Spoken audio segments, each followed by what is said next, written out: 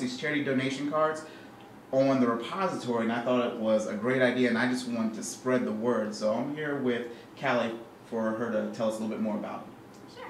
So Stark Community Foundation now offers charitable giving cards,